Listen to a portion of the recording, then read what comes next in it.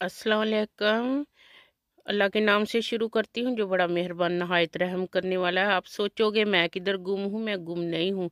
मैं कुछ ना कुछ करती रहती हूँ। ये देखे, अब मैं ये इतना बड़ा पैच लगाया है कपड़ों पे, ये मेरी सेकंड हॉबी